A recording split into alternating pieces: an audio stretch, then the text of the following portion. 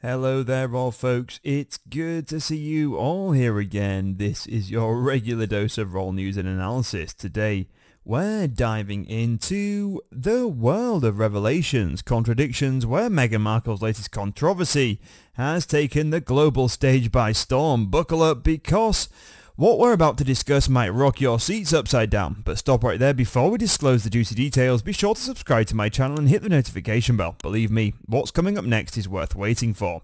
So remember that iconic Oprah interview? Yep, the one where Meghan Markle shared her experiences and opened up about her struggles. Guess what?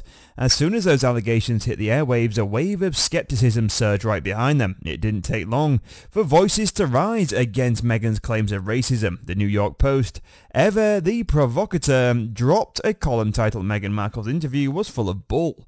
And across the pond British TV host didn't hold back. They straight up called her out saying she lied about self-destructive thoughts and dubbed her interview as a two-hour thrashathon of the royal family. But that's not all. Digging deeper, we find a 2015 essay by Meghan herself in Elle magazine. In it, she describes navigating close-minded, recalling a college dorm mate who questioned her family dynamics. While the familiar smile meets awkwardness, Meghan revealed that her mum is black and her dad is white. The friend's response, oh, well that makes sense. Yeah, let that sink in. And then there's the revelation from Meghan's high school teacher, Christine Knudsen. She spilled the beans about Meghan introducing herself as Southern Italian. Wait, what?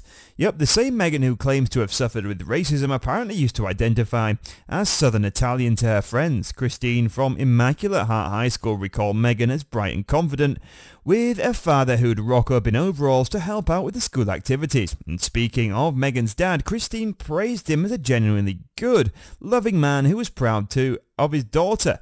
But here's the kicker, some friends chimed in too, stating that Meghan was never bullied at school and didn't face the racial adversity she spoke about.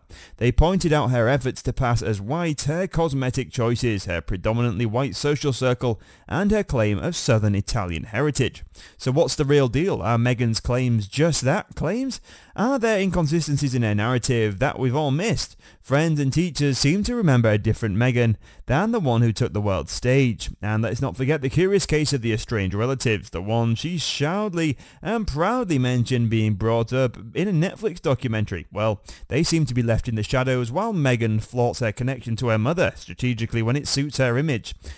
So what do you guys think about Meghan's story being more complex than it seems? Is there a hidden agenda at play? Share your thoughts and let us know what you think. Until next time, thanks for watching. We'll see you again soon for more Royal News and Analysis.